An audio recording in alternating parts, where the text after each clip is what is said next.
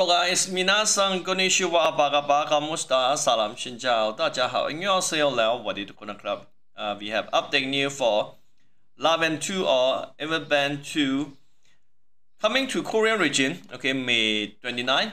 At current, uh, they still open for pre-register. For that, you need Korea mobile number.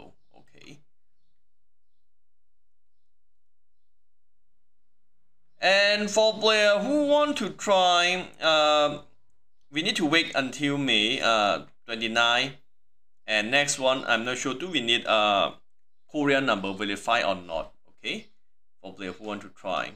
And for player who already pre-registered or able to be registered, you can reserve your character name.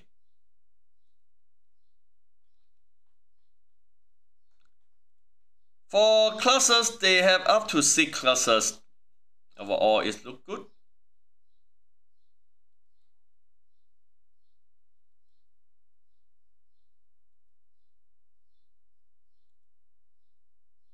Okay, let's check some gameplay.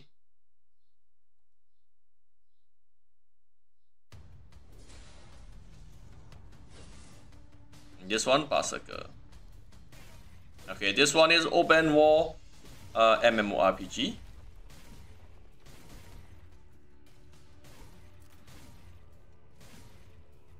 It looked like that MMORPG and for player who play like Desert mobile gonna family with uh, graphic like that a little bit even different engine. and next one uh, they have uh, cross-platform for both PC and mobile version. Okay, it look good. This one wall. Okay, here this one wall map. Game Feather. More than MMORPG. Oh, that look good. Uh, too bad not available for global yet. Okay, now let's check some game uh, feather in here. Ah, we don't see game UI. Okay, overall it looks like dark MMORPG. Uh, here we will see. Uh, it feel like classic MMORPG, a game that uh, quite popular in Korea now. Okay, they're gonna have uh, attack, defend, uh, ACC, like that. Okay, I hear shop, and we don't see uh skill UI in here, party mode here. This one gonna look uh liberal, and this one I'm not sure this one CP and crew rank or not. Okay.